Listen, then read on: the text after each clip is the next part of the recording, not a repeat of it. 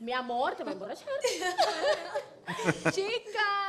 Cuenten. Ay, baby, si ustedes supieran, mi amor. Mi novio el 14 de febrero me invitó para un resort. ¿Y vas a ir? Si mi marido está de viaje, sí. Ah. Hecho de la